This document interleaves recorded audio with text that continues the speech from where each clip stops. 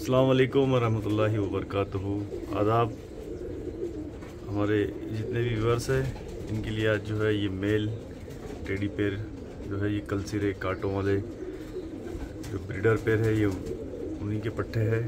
अभी ये छः गली के हो गए, किस तरह से बने, किस तरह से है, किस तरह इनकी बॉडी स्ट्रक्चर है, जो बनावट है, ये आप गौर से देखिए। आपको एक अंदाज़ा आ जाएगा कि किस तरह से कबूतर है, ये फीमेल है। इसकी भी पूरी बॉडी स्ट्रक्चर देख सकते हैं आप, इसका फ्रंट पोस्चर और ये देखिए, कुंदे किस तरह से है।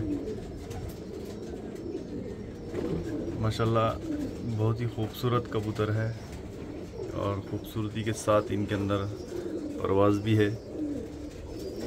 तो ये ये था हमारा एक पट्ठों का पेड़, जो कि अभी छः कली का होगा, इंशाल्लाह आहिस्ता आहिस्ता इनमें काफ़ी अच्छे चेंजेस और काफ़ी अच्छे बदलाव आते और जिस तरह से ये खूबसूरती है, देखिए सिर्फ़ खूबसूरती रहने से नहीं कबूतर में परवाज भी होना बहुत ज़रूरी है।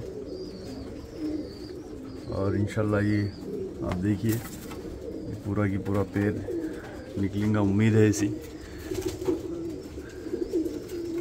तो ये थे हमारा एक पट्ठों का पेड़, इंशाल्लाह। इंशाल्लाह नेक्स्ट वीडियो में जल्दी मुलाकात होगी।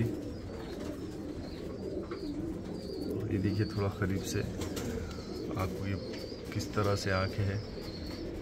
देखिए इनकी पलके आँखें, चेहरे की बनावट जो है, देखिए खूबसूरती है और एक मज़बूत कबूतर।